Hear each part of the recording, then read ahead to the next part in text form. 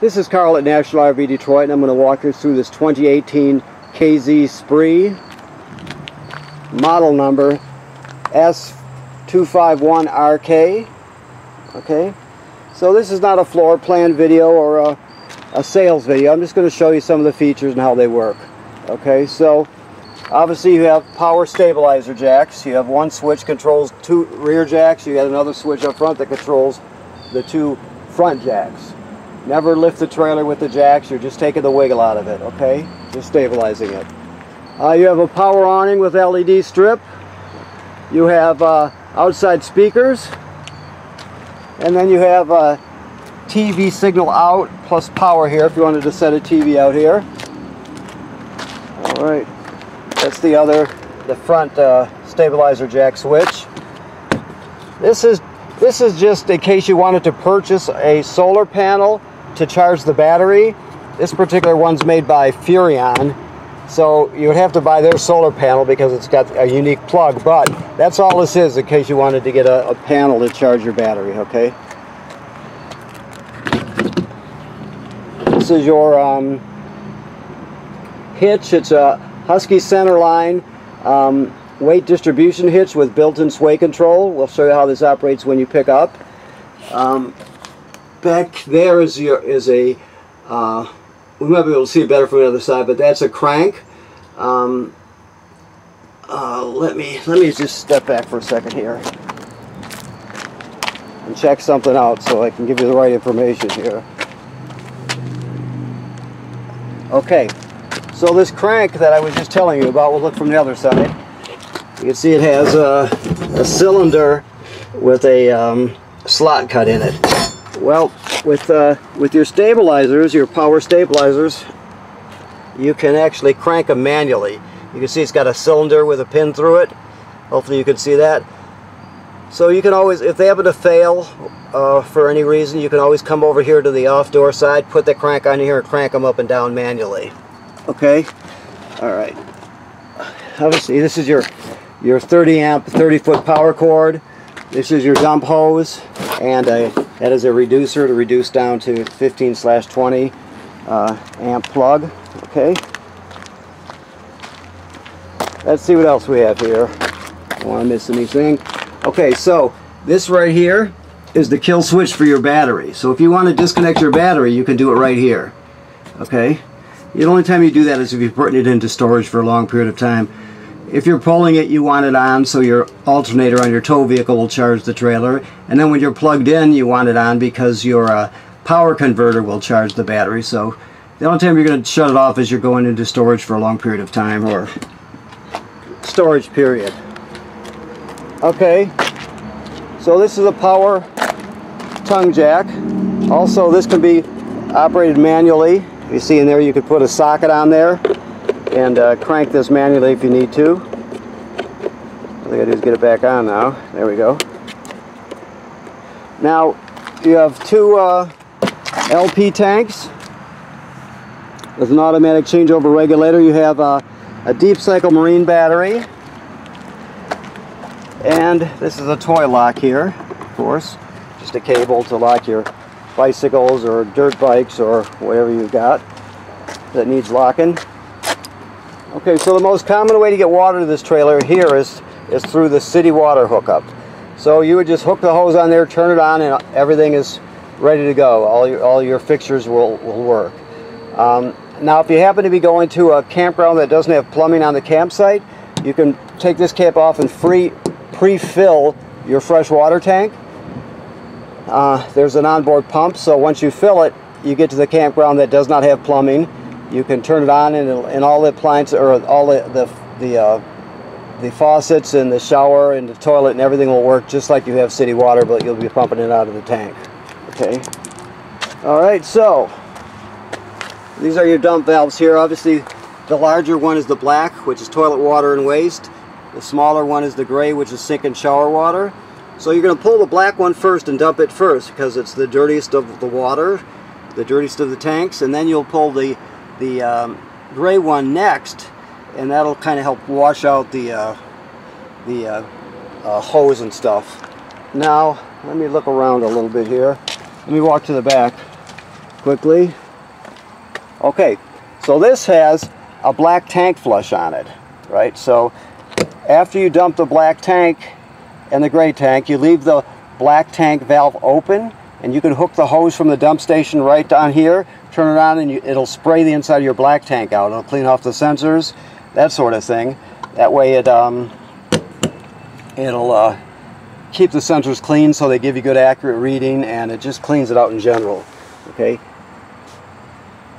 Okay, and here's another another tank back here. Okay, another valve and tank. This is just an outside shower. This is where your your 30 amp shore cord goes. This is your um, water heater. Now, you see the switch right here? There's an on and off. Remember that, that this switch controls the electric heating element that's behind this cover here, if you can see it. Um, so before you, you can use the electric heating element, you have to turn that to the on position. Never, never turn it on without water in the tank because you can burn it, the, the uh, element out really quickly. So always make sure there's water in the tank. Also, this is where you drain it, your water tank. That's an inch and a 16th six point socket will go on there and you can, you can take it out to drain it. Um, also drain it for the winter time so it doesn't freeze. Also there's an anode rod attached to this plug here which is about six inches long or so. Um, it's just like a sacrificial rod called an anode rod. Okay, let me see here. Okay, so let's move around a little more. This has a backup camera. I see the camera mounted up there, okay. Um, also this vent right here, this is the vent for your range hood. So you can see there's like um, uh, a latch on each side here. If you're going to vent to the outside using your range hood uh, fan, you can push up on these two tabs and the baffle will then flap freely so it vents to the outside. But when you're not doing that, if you're, let's say you're just um, um, in storage or, or traveling, you'll keep this shut so the baffle doesn't you know, get damaged whipping around in the wind. But when you're venting, you always want it to be open, okay? This is just the service panel for your refrigerator. And then you have a rack that drops down to put stuff on. Okay. All right, so let's go inside.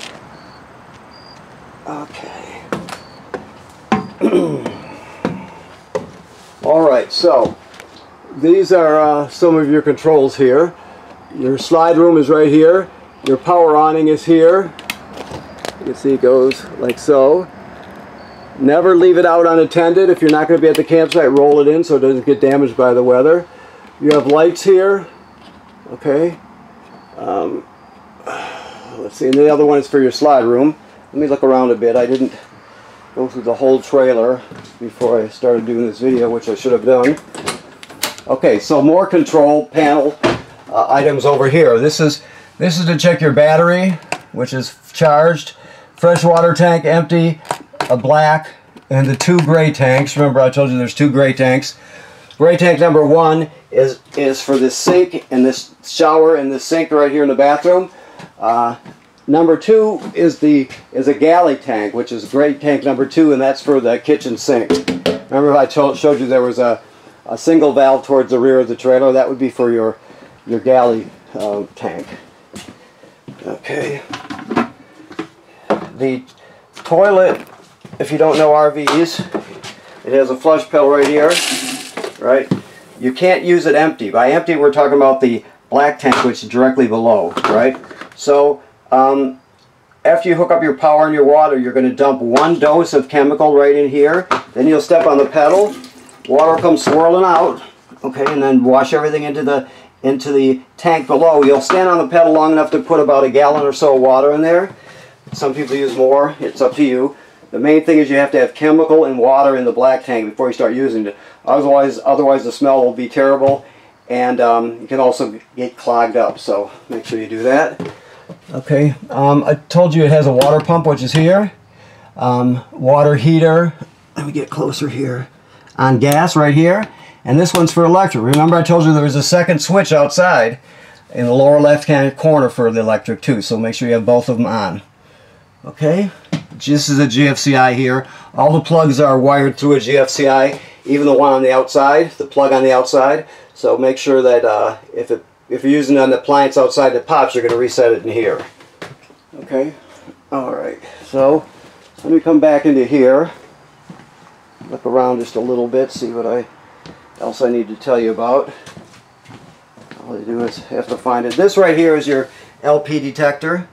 It should always be green. If it goes off, obviously you take everybody outside. Um, this one might do carbon monoxide too. Let me look real close and see if it, I can read it. Yeah, this does carbon monoxide and LP gas. So if it detects either of those, it'll go off.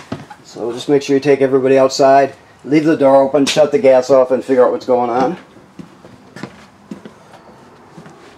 Okay, so this is what I was looking for here. This is your power converter right here. So when you're plugged in to shore power, um, 110 AC comes into here. You have regular household circuit breakers like you see at home right here, and they're all labeled.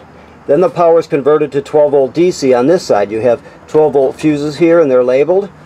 Also, keep in mind that um, this is a battery tender, so as long as you're plugged in, it's going to sense how much energy your battery needs and to send it whatever it needs to keep it charged. If it if it's charged charged up, it'll just trickle a couple amps. If it's low, it'll send 10 amps or whatever it needs. So keep that in mind. As long as you're plugged in, this charges your battery too. And um, also, if any of the fuses blow, they'll actually light up and you can see them glowing through this tinted plastic here. Okay, so that's the power converter. Okay, move back to the front here.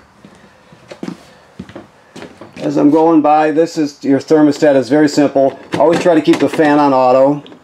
One click to the right is heat. A click to the past off to the left is the fan, which is just the air conditioner running without the compressor. It just circulates air. Then if you click, click it one more time to cool, that's your um, full air conditioning, okay? Like I said, always try to run the fan on auto. Auto high is good. Okay.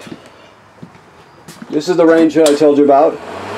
Remember I told you you have to open that baffle outside so it'll vent to the outside. It has a light and a fan. This um, microwave works like any other microwave. Nothing unique about it. The refrigerator is um, very simple. You have off, which is on off, and you have auto. Auto is where you're going to use it most of the time. So when it auto means it always seeks out 110 AC. Um, right now we're not plugged in, so it just recognized that. So it switched to gas. So it'll look for AC power, and if it finds it, it'll use it, and if not, it'll automatically switch over to gas.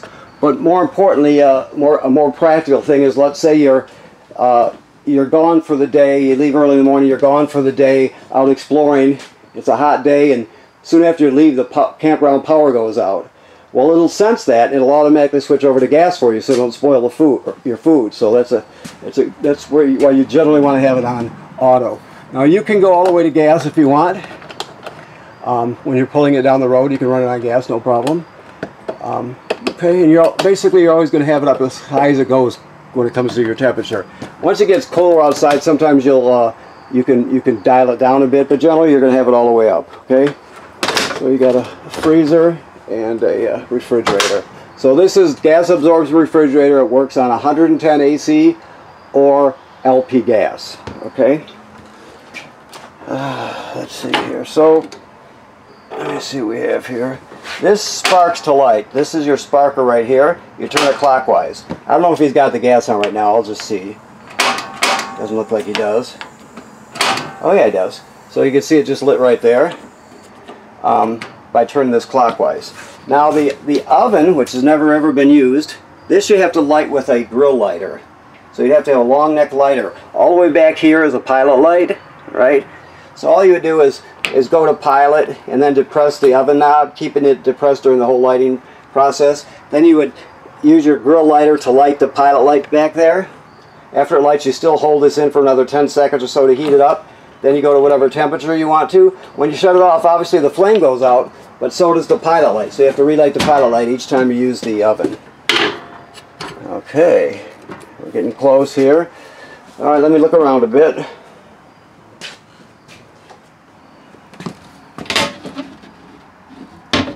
Okay. Okay. This is, uh, I think we've covered just about all of it here. Always run the, uh, your, your uh, ceiling vent with the shower because you want to pull the humidity out so you don't uh, uh, you know, create a climate where mold or mildew could grow. So make sure you vent it out. Okay, so you have another vent up here, of course. This is a TV hookup in the bedroom here. There's also a backing plate here for a bracket. Um, you can pull up your your your bed, and there's some storage underneath there for for stuff. Okay, you can drop your uh, table down onto these cleats here and use the back cushions to fill the space and turn that into a bed. Um, this is a, let me see what it is. It's a hide a bed, so you take the back cushions off and you can fold it out into a into a bed. So you got another place for people to, to sleep. Um, let me see if there's anything else. Obviously your, your TV works like any other TV. Um, I don't know if you can see it, but where the coax cable goes into that second panel up there, it's actually green. There's a green LED on it. You always want that to be on when you're using the antenna. Otherwise you won't get a good picture. There's a little button next to it. Turn it on and off. So make sure it's on or you won't get a good picture. This is a nice bracket. It locks into place, which is good because you want to be able to, um, uh, you know, you don't want it, the TV to swing around when you're driving down the road, obviously. And then, of course, last but not least, your sound here. Um, you play CDs and DVDs here. It has Bluetooth. Let me make sure because I don't. This year should have Bluetooth. All I'm doing is looking for the symbol. Okay. Well, heck.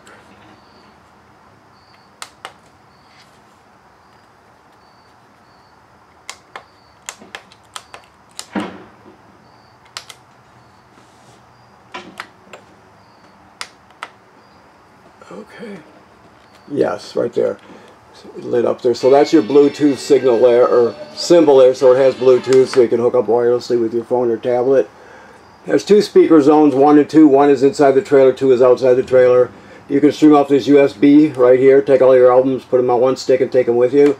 And it has AM, FM radio also, plus the discs, okay? So it does quite a bit when it comes to camping, all right? Okay, so I think that's it. So I want to thank you for purchasing your trailer here at National RV Detroit. And please remember that the manufacturers all state that you should inspect your roof every 90 days. By inspecting it, you uh, go up there or have somebody else go up there. Be very careful. You can walk on the roof, but be very careful. Um, you look at all the sealant and make sure there's no cracking or separation, no, no way for water to leak into the trailer. This trailer is, is, is dry. As I walk around, I can, can tell. You also can tell by the smell of it. It doesn't smell moldy or musty. That means it was taken care of, and it's it's um, it's nice and dry, which is what you want, of course. So make sure you go up and inspect your roof and make sure that it stays that way. Um, make sure that low branches didn't damage your roofing material or any of your vent covers, anything like that. And like I said, you look at all the sealant. Some year, sometime when you go up there, you're going to see something that needs to be touched up. So you do that immediately. Don't buy stuff at a hardware store. Always go to the RV place and get, for the roof, you're going to get something called Dicor, which is a lap sealant.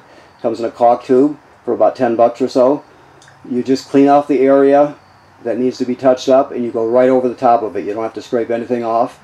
But make sure you take care of that. It's very important. With people who own trailers don't inspect it enough, so it's an important thing to do. Also, before it freezes, you have to winterize it. So you have to uh, learn about that if you don't already know. You have to bypass the water heater and go through the proper procedure so uh, nothing freezes up and gets damaged. Okay? Thank you very much.